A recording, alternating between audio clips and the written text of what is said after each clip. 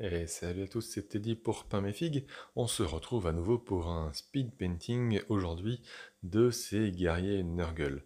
Alors vous allez voir euh, seulement la réalisation d'un seul de, ces guerriers, histoire d'avoir un, petit fil conducteur. Euh, et pour le coup, je n'ai fait aucune coupure en montage. L'idée c'est vraiment de voir de A à Z pour se rendre compte du temps que ça prend en vitesse réelle. Alors comme toujours, je base ma figurine en noir et j'ai déjà préparé mon zénithal de blanc. Euh, c'est vrai que je vous remonte plus trop cette étape-là, je ne sais pas si elle a encore un intérêt. Franchement, dites-le moi en commentaire si c'est quelque chose que vous voulez que je rajoute. C'est vraiment pas compliqué à faire, ça, prend quelques secondes supplémentaires hein, simplement. Euh, comme je l'ai fait à la chaîne, je, je, voilà, je, pense pas forcément à ce moment-là à filmer d'une part, c'est moins pratique avec l'aéro aussi tout simplement. C'est une étape que je montrais hein, sur des vidéos précédentes, donc ça, vous pouvez le revoir. Voilà, je ne sais pas si on peut dire que c'est technique ou pas. Euh, donc ouais, franchement, donnez-moi votre avis. Mais c'est une base sur laquelle je pars en tout cas. Euh, donc sur ce petit guerrier Nurgle, je commence à badigeonner du coup ma citadelle contraste. Et là, ça doit être, si je ne dis pas de bêtises, du Fire Slayer Flèche. Donc l'idée, c'est vraiment de ne pas y aller dans la dentelle sur ce genre de figurine. C'est du Nurgle, ça s'y prête très bien. Euh, c'est très satisfaisant d'arriver à sortir une figurine en aussi peu de temps. Vraiment, je, vous invite à vous lâcher. C'est permis sur ce genre de figurine, donc allez-y. L'idée, c'est pas d'avoir un truc ultra propre, ultra clean. Et au contraire, on va essayer de varier énormément les teintes pour que, euh, bah, pour que ça ait un rendu assez, euh, assez intéressant. Donc voilà, je badigeonne pas mal euh, avec mon, euh, ma, couleur chair. Vous pouvez en, utiliser une autre. Hein. Je ne suis pas figé vraiment à, une couleur. J'ai du mal à, réutiliser un, euh, une recette comme, comme, utilise, enfin, voilà, comme, comme même certains. Je ne suis pas aficionado d'utiliser une recette toute faite. J'essaie de trouver la mienne en général. Et, je me sens assez libre effectivement de, changer au, gré un peu de, de l'humeur et puis de ce, qui, de me paraît cool sur le moment. Effectivement, si vous vous lancez dans une armée, prenez soin de noter hein, ce, que, vous voulez faire. Là, je savais que c'était 5 persos qui étaient à moi, euh, qu'il aurait pas d'autres spécialement. Donc voilà, je ne suis pas allé plus loin. Par-dessus ça, j'ai rajouté cette espèce de jaune-vert, ça doit être du Plague Bearer Flèche de mémoire pour le nom. Et euh, alors oui, euh, petite précision, hein, j'utilise toujours mon médium retardateur, ce qui me permet davantage de faire ces mélanges dans le frais. Euh, c'est possible de le faire sans, mais encore une fois, il faut peut-être dans ce cas-là réduire la zone que l'on va travailler. Là, je peux faire du coup toute, toute ma chair avec, toutes les parties de, chair. Si je n'avais pas mon médium retardateur, et eh ben, je ferais qu'une partie. Je ferais un morceau du, du, buste en fait. Et il faut éventuellement faire attention à s'arrêter à un endroit où il y a un pli et où on ne verra pas le coup de pinceau. Voilà un peu l'idée. Mais voilà. Il faut aussi avoir un coup de pinceau suffisamment rapide pour pas que ça ait le temps de commencer à sécher. là, si ça commence à sécher, effectivement, ça va vous faire quelques boulettes euh, assez, euh, assez vilaines. Alors, plaque Mirror Flèche, et ensuite, je pars sur le Volupus Pink, qui est une couleur extraordinaire. Franchement, si, euh, si vous ne l'avez pas testé, c'est vachement sympa. voilà, c'est une espèce de, rose, mais le pigment est assez pète. Et, voilà, j'aime bien en, en, en répartir un petit peu sur toute la figue. Alors là, vous voyez, il y avait des, zones vraiment qui s'y prêtaient. Il y a cette espèce de langue qui lui sort du, du bide euh, sur lequel j'ai mis ça. Mais j'en rajoute aussi à différents endroits, là où il y a des plaies. Et, euh, éventuellement, voilà, je, je renforcerai avec, euh, avec du rouge éventuellement. Sur cette figue, hein, j'ai vraiment décidé d'y aller à la bourrin, euh, à la, euh, vraiment en, mode ultra, ultra speed. Euh, le vert, encore une fois, j'ai une petite incertitude. D'habitude, je, note ou je m'en souviens relativement bien. Je crois que c'est du Dark Angel Green, ce, vert Dark Angel. Ça y ressemble en tout cas pas mal de visu. Et encore une fois, je, vous le redis, hein, mais je ne suis pas arrêté à une recette particulière. L'idée, c'est de trouver le vert qui vous convient et là, le vert, il, se marie bien avec euh, euh, du, marron. Alors là, c'est du Sigor Brown que j'ai utilisé, mais encore une fois, ça aurait pu être un autre marron. Sur le moment, c'est ça qui me parlait, je voulais quelque chose vraiment qui aille vraiment vers le foncé et qui, qui tranche vraiment avec cette peau très claire. Mais euh, dans d'autres situations, peut-être que j'aurais utilisé un vert un peu moins euh, saturé, euh, du coup un peu plus pastel, on va dire, et puis avec un marron qui lui aussi, alors voilà, serait peut-être un peu plus chaud, un, un Gorgonda Fur par exemple, un truc comme ça. Voilà, on aurait pu changer un peu la recette. Là, je voulais quelque chose d'assez foncé, donc un vert plutôt foncé et quand même bien pigmenté, et, un marron assez, assez foncé pour lui. Alors pareil, je, en fait, je badigeonne et je laisse travailler la peinture. J'ai entendu cette expression sur une des vidéos de Iggy TV qui, là, qui testait les, euh, les dernières sorties, euh, les derniers pots Citadel sortis là, euh, avec la dernière version de 40K. Et j'aime bien, en fait, je, l'aurais, enfin, je, je sais pas comment le, dire forcément. Souvent, je, je laisse couler en fait la, peinture bien dans les creux. Mais effectivement, c'est ça. C'est l'idée de laisser travailler la peinture. elle va se caler à certains endroits. Alors oui, comme le lavis, si vous en mettez une tonne, ça va faire des traces, ça va faire des, marques que certains trouvent effectivement peu esthétiques. voilà, je ne suis pas totalement réfractaire à ces, traces, en tout cas si elles sont relativement choisies et maîtrisées. Effectivement, si on en met trop, eh ben, ça va avoir un côté brillant. Euh, à certains endroits, on, va le remarquer plus qu'à d'autres. Mais sur une peau de Nurgle qui est quand même complètement cradoc, euh, qui a des vêtements également complètement cradoc, ça fait un peu de traces, euh, à la limite, ça me gêne pas. Et, ça donne, voilà, c'est un peu cohérent aussi avec, avec l'ensemble de la figurine, quoi, tout simplement. Alors, ce qui va être intéressant, et c'est ce que j'ai bien aimé faire sur ces figurines, c'est que euh, j'avais, on le voit de temps en temps, hein, j'utilise la, palette de, Red Grass, et je, n'ai utilisé pas la palette humide en, elle-même, mais euh, ces petits récipients là euh, qu'on met à côté. voilà, parce que ça, évite de diluer trop la contraste. Et j'avais déjà préparé en fait mes peut-être 5 couleurs que j'utilise et je n'utilise que ça du début à la fin. Donc vraiment, mon Sigurd Brand, vous voyez là, que j'ai utilisé sur l'armure, sur bah, je le réutilise sur mes bottes. Euh, pour différentes raisons. D'une part, pour un gain de temps, parce qu'on peut se dire qu'avec 5 couleurs, si j'arrive à faire toute ma figue, eh ben, euh, enfin voilà, j'ai juste à piocher dans le bon récipient au bon moment, et puis c'est tout. Et d'autre part, euh, aussi pour une certaine cohérence. Euh, et, du coup, euh, il y, a une liaison finalement qui se fait entre les différentes parties de la figurine. Vous voyez là, je savais pas, je me dis, soit je je ressors une nouvelle couleur pour le manche de cette hache, soit j'utilise autre chose. Alors qu'est-ce que je vais utiliser? Bah, Je savais pas trop, alors je me dis, bah, tiens, je vais réutiliser le rose. Mais cette fois-ci, le rose, je vais le mélanger avec Honnêtement, je sais plus ce que j'ai fait. C'est peut-être avec le marron ou avec la, chair. Euh, je, voulais faire une teinte ou c'est peut-être avec le plaque bearer flèche que j'ai mélangé. Vous voyez, sur le moment, vraiment, je, là, j'y vais. je, réfléchis même pas au moment où je le fais. Je me dis quel mélange j'ai pas encore fait. Allez, je vais faire ce mélange des deux là. Et et, puis ça match en fait. Euh, c'est pas du tout un une couleur de bois, c'est pas réaliste, ça se veut pas. On est dans du fantastique. Euh, oui, j'ai un manche de ma hache qui est euh, rose en fait, rose-violet, rose-violet marron, je saurais pas bien dire. Voilà, mais, mais peu importe, ça, fonctionne. De la même façon, j'avais utilisé un, un chouïa de rouge tout à l'heure sur. C'est du flèche tireur red. Et, voilà, et du coup, je, vais utiliser ça sur, sur le pagne que je vais mélanger cette fois-ci avec le, le, Sigor Brown. Enfin, vous voyez, vraiment, c'est dans l'idée de. Je, mixe vraiment comme ça vient. Euh, je, je, réfléchis pas, je, badigeonne vraiment en, mode, en mode bourrinos.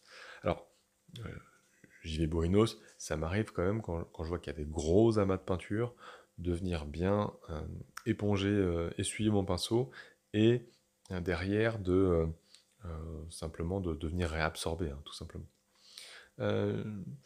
Voilà, en gros, je ne sais plus quelle couleur je rajoute à, ce moment-là. Euh, si oui, la couleur hausse, tout simplement. Là, c'est la seule fois, je crois, où je me suis dit, mince, il me manque un truc. Là, clairement, je ne savais pas comment le faire autrement. Donc, euh, donc ouais, voilà. Là, j'ai repris la couleur hausse. mais par contre, je l'ai euh, réassombri avec, avec mon Silver Bond qui était déjà là, ce qui me permettait aussi de faire la liaison, parce que c'est comme c'est posé sur l'armure, et qu'il y avait des, endroits où c'était pas, pas, très, pas, très joli, et ben de, de refoncer la zone, histoire que ces détails-là ne, ne se voient pas, ou ressortent moins aussi. J'aime beaucoup la façon de, de peindre de Girio ou des illustrateurs. J'ai un, peintre euh, qui s'appelle Mathieu qui, euh, qui, est illustrateur à côté de ça et qui habite Lyon. Euh, j'aime beaucoup son style parce que c'est très graphique. On, sent que c'est des gens qui savent poser la lumière et donc qui savent attirer l'œil là où ils ont envie que, voilà, qu'on pose l'œil, hein, tout simplement. Donc voilà. Euh, le fait d'avoir fait cette zone plus foncée, à côté de ce casque là qui est un peu plus clair, donc vraiment sur le focus de la figurine, bah ça, le fait ressortir encore davantage. Voilà, ça me plaisait bien. Vous voyez, je ne l'avais pas encore fait à, certains endroits, du coup j'y repasse, euh, je rajoute un peu de rouge euh, pour, euh, voilà, pour renforcer encore certains aspects. Je ne sais pas, au final, hein, quand je vois le rendu de cette partie-là, je me dis, ah, j'ai peut-être rajouté un peu trop de rouge, donc je ne sais pas si j'ai vraiment bien fait, mais mm, voilà, il fallait rajouter quelque chose, j'ai peut-être trop accentué, j'en sais rien. J'aurais, peu importe. Euh, sur le moment, ça me paraissait le convenir, ça me paraissait le faire, donc, euh, je l'ai fait. Mais voyez, j'ai un peu plus euh, hésité, en tout cas sur cette partie-là. même si, voilà, au final, j'ai laissé comme tel. Hein, donc, si, j'avais quelque chose à, refaire, ça aurait été cette, partie-là éventuellement. Mais là, l'idée, c'était quand même. enfin, j'avais pas envie, hein, clairement, de, de repasser, de remettre me refaire un truc propre et tout. Non, là je voulais que ça aille vite, et c'était pas si mal, donc j'ai laissé comme tel, tout simplement. Hein. Euh, il faut faire gaffe par contre, hein. vous voyez là je, repasse à, certains endroits, je rajoute euh, un peu de nuance, un peu de couleur. Il faut faire attention à ce que ces zones-là soient pas en train de sécher. Là effectivement, comme je disais déjà, hein, mais là vous allez faire des, des grosses boulettes. Alors soit il s'agit de vraiment appuyer très très peu le pinceau à ces endroits-là, euh, soit d'attendre vraiment que ce soit, sec. C'est pour ça aussi hein, que, euh, vous avez vu, je, là je fais la figurine euh, en, one shot, hein, vraiment, je ne l'ai peint pas du tout en, série celle-ci, je l'ai fait vraiment une à une. bah, effectivement pour éviter que, pour que je sache exactement où on est la peinture, si elle est sèche ou pas. mais voilà, je, reviens sur les zones que j'avais traitées en premier après que j'ai eu traité l'ensemble de la figurine. Et que ça a eu le temps un peu de sécher, mais en fait, c'est vraiment un truc auquel il faut, il faut faire attention, voilà, tout simplement. Euh, question de feeling, question de... Bon, pas quoi vous dire, je pense que c'est avec l'expérience qu'on se rend compte aussi que euh, là, c'est pas le moment d'y aller, et des fois, c'est bon, ça, ça passe, tout simplement. Voilà ce que ça donne hein, une figue finie. Hein. Il n'y a pas plus de couleurs sur celle-ci que, sur d'autres. Euh, mais voilà, je, bah, pourquoi je vous montre hein, les autres C'est parce que là, j'attends que ça sèche, tout simplement. Euh, mais, euh, mais voilà, dans l'idée, ce, que ça peut, donner, toujours à base de 4-5 couleurs maximum, en faisant des, gros gros spotch. Je je pense pas avoir attendu vraiment plus longtemps mais, je voulais m'assurer que ce soit vraiment complètement sec. Euh, je vais peut-être attaquer une autre figue en attendant, c'est possible. Euh, mais voilà, pour attaquer la suite, là c'était les métalliques. C'était mieux si c'était complètement sec, tout simplement. C'est ce que je fais en dernier, ça, cette partie métallique généralement, parce que euh, je, m'autorise du coup sur ces zones-là, pendant que je parle à contraste, à dire je m'en fiche, je déborde dans tous les sens et je sais que je viendrai rectifier avec ça. Donc c'est le moment où là, je vais faire plus attention à la précision. Et où je vais rattraper effectivement les quelques débordements que j'ai eu sur ces zones-là, parce que je sais que la peinture est couvrante à ce niveau-là, alors qu'effectivement la contraste ne l'est pas du tout. Hein. Donc là vraiment, je ne cherche pas à être précis hein, quand je fais de la, peau ou autre. Alors j'essaie de ne pas déborder d'une zone à l'autre, mais sur les métaux, euh, peu importe, peu importe. Mais quand même de plus en plus, hein, je, m'autorise aussi à, faire, à, déborder d'une certaine couleur et de repasser par-dessus en transparence, ce qui va nous faire aussi quelques mélanges de teintes, et encore une fois aider à la cohérence et, euh, à lier les couleurs. Euh, j'ai fait ça sur, euh, sur des guerriers de Tsench très, très récemment, là, où j'ai fait d'abord tout l'ensemble de la figurine avec une couleur chair, et par-dessus j'ai rajouté mes couleurs. Vous voyez, donc c'est ce que j'aurais pu faire sur celle-ci, là, sur ces guerriers de, de Nurgle. J'aurais pu éventuellement passer cette même couleur chair également sur, sur les épaulettes, pourquoi pas. Euh, est-ce que ça aurait vraiment changé la donne? Non, je crois pas. Euh, je crois que le, verre est suffisamment euh, plus foncé pour qu'on ne voit pas spécialement ça par-dessus. Ça aurait peut-être rajouté une teinte un petit peu différente. Mais voilà, ça, ça, aurait pas choqué l'œil, je pense. Et, puis voilà, ça, aurait pu, ça aurait pu le faire, tout simplement. Donc ça peut être une idée de... ça aurait pu être moins prise de tête encore en disant je, badigeonne encore plus en me, même, en me préoccupant même pas de savoir si c'est de l'armure, du tissu ou n'importe quoi. J'aurais pu faire de la chair partout, tout simplement. Voilà. Pendant que la, vidéo continue, et, comme je n'ai pas toujours euh, l'occasion de le faire, euh, ben voilà, franchement, n'hésitez pas à vous abonner, à, liker, comme on dit, tout ça. Euh, vous n'êtes pas obligé, faites comme vous le sentez.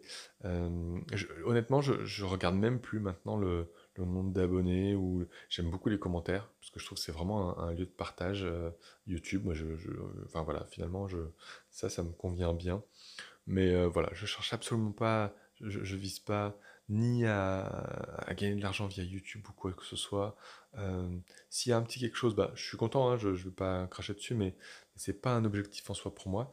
Si ça vous plaît et si vous aimez ça, bah voilà, déjà je vous, je vous en remercie beaucoup. Euh, et je continuerai d'en faire tout simplement. À, un rythme euh, pas forcément régulier, hein, je me rends bien compte que j'arrive pas à en faire. Je pourrais pas faire une vidéo toutes les semaines, ce serait euh, trop prenant. Mais, mais autant que possible, dès que je peux partager un truc, moi ça me fait plaisir juste de partager ce que j'ai fait. et, si ça peut vous donner des idées de comment faire certaines choses, ben, je, suis, juste content de ça. et ça me va bien. Donc voilà, n'hésitez pas à partager. Si, euh, si vous voulez soutenir et, m'aider euh, un peu plus, ben, il y, a, y a le Tipeee, il y a quelques liens sur le Géant des Beaux-Arts euh, où j'ai un lien d'affiliation, tout ça c'est dans la description. encore une fois, sentez-vous libre. Je, serais enchanté et hum, que, que, ben, voilà, que vous fassiez ça, mais je ah, je n'ai pas envie de forcer la main de, quiconque. Je compte pas là-dessus pour vivre pour le moment. Euh, c'est pas, pas mon choix, en tout cas là tout de suite. Mais euh, donc, euh, donc voilà, c'est plutôt si, si, vous aimez, si vous avez envie de participer, ben, je, vous en serai très reconnaissant. Et, euh, et, par rapport au Tipeee, par contre, sachez que je, l'idée c'est quand même qu'il y ait une contrepartie à, votre, à votre don. Et, et, ce que je peux donner, moi, c'est un peu de temps. Et un peu de temps sur sur des conseils, sur, euh, sur des avis, si vous voulez, euh, euh, que, voilà, je, vous aide un peu à, peindre, à savoir comment moi j'aurais fait telle ou telle figurine. Et ben voilà, ça, ça vraiment c'est le genre de conseil que, je peux donner volontiers. Et, puis on peut même se prévoir une séance vidéo si, bah, si vous êtes un tipeur et que vous auriez envie de ça. Voilà. Pareil, encore une fois, c'est tout décrit dans le Tipeee si, vous en avez envie.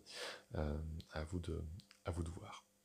Donc vous avez vu, entre temps, je, excusez-moi pour le, pour le blabla de youtubeur de base, mais euh, j'ai donc fait mes métalliques et par-dessus j'ai juste passé, alors honnêtement je sais plus si c'est de la contraste euh, noire ou, euh, ou comment dire, ou grise. Je, crois que c'est simplement du lavis noir. moi j'utilise le celui de, de Army Panther. Ouais c'est celui-là. C'est effectivement le, le Dark Tone. Sur le, sur le bureau, c'est pour ça que je, m'en souviens à présent. Mais euh, donc voilà, Darktone, euh, qui, euh, qui, est plutôt fort sympathique, que j'aime bien. Je vais salir un petit peu mes métalliques, et notamment avec cet oxyde, ce Nilac oxyde. Je crois que j'ai rajouté aussi, j'avais parlé de ces peintures dans, les, dans mes couleurs préférées, j'ai rajouté un peu de cuivre à certains endroits, histoire d'avoir quelques métaux un petit peu différents sur la, poignée notamment de l'épée, euh, c'est les Metal Color de Valero, qui sont des peintures exceptionnelles. Euh, comme je dis, j'en ai déjà parlé sur une précédente, vidéo, mais je, maintiens vraiment mon avis là-dessus. Ce sont des peintures qui sont extraordinaires et qui, euh, qui ont un, comment dire, des paillettes métalliques extrêmement fines, je trouve, et qui pour moi ont, peu de, comparaison. En tout cas, je n'ai pas trouvé quelque chose d'aussi bonne qualité et d'aussi brillant. Si vous testez, je crois que j'ai le, ou le, chrome, en tout cas une couleur argentée très claire, mais même lumière éteinte, le, truc est étincelant. C'est assez euh, extraordinaire à quel point la lumière vient se refléter à mort dessus. Donc ça peut vraiment venir vous faire péter une figurine euh, de façon euh, assez franche. Et il y a aussi ce copper, là, ce, cuivre, que je trouve joli. Et, pareil, qui a des. peut-être qui est peut-être moins pète, moins, moins flash que peut être, que peut être l'argent, mais qui est quand même vraiment, vraiment chouette. Donc voilà si vous cherchez des, couleurs métalliques, euh, le must, et eh ben, eh ben, partez là-dessus, euh, c'est vraiment sympa. Vous voyez, la figurine a quand même bien avancé. On est à 20 minutes de vidéo. Comme je dis, alors, les coupures que vous voyez, c'est euh, quand, bah, je je vais faire une pause parce que je vais aller me chercher un verre d'eau et tout ça. Là, vous voyez, il y a une petite pause. Mais je n'ai absolument rien fait. enfin, je peux que vous inviter à me croire sur parole. Hein, je ne vais pas vous apporter la, preuve par A plus B, mais je n'ai absolument rien fait entre ces deux étapes. Euh, je vous dis ça alors que là, c'est plus la même figurine. Euh, j'ai oublié de filmer en fait. Euh, je sais pas comment je me suis, je me suis planté de figue à ce moment-là, mais en fait, il restait que le socle à faire et le tour de socle. Donc à ce moment-là, j'ai ouais, changé de figue, mais mais voilà, typiquement, enfin, je, je, vous le dis vraiment sans détour, il y a, il y a, je cherche pas à tricher, c'est pas mon, j'ai aucun intérêt à faire ça. Donc, euh, donc voilà. Là, c'est vraiment du temps réel, une figurine de A à Z. effectivement, elle se fait en 25 minutes. Euh, et, et, puis pour voir, quoi. Enfin, voilà. Euh, le socle, j'ai fait quoi? J'ai pris du Space Wolf Grey, c'est souvent la, une teinte qui fonctionne bien, je trouve, sur la pierre. Et là, je l'ai mélangé avec du Basicalum, basicalum Grey, euh, histoire de le, refoncer un petit peu. Euh, ça, n'hésitez pas à le faire, effectivement. Euh, encore une fois, je, badigeonne et, je laisse travailler la peinture, histoire de refoncer encore davantage le, le socle. Je ne l'ai pas fait sur tous les socles de cette série de figurines, mais voilà, là c'était pour renforcer le côté très sombre de ces, euh, euh, de ces guerriers, euh, guerriers Nurgle, voilà, très glauques. je voulais que le, socle soit aussi assez sombre pour, pour, coller à ça, même si, voilà, après par contre les couleurs sont différentes. mais, le, thème est, le même. Pour, pour la toute fin de, la vidéo, pour le tour de socle, petite astuce, enfin, c'est comme ça que je fais maintenant, je trouve ça plus simple. Quand je fais un tour de socle noir, maintenant j'y vais avec la, une base, avec le, euh, ce qui sert de sous-couche, en fait, tout simplement, euh, euh, de, chez, de chez Valero. Voilà, voilà ce que ça donne sur, sur les 5 figurines. J'espère que la vidéo vous aura plu. N'hésitez pas à commenter, à partager si ça vous plaît. En tout cas, j'espère que ça vous inspirera et, et, je vous souhaite une bonne peinture à tous. Je vous dis à très bientôt sur Pain et Figues. Salut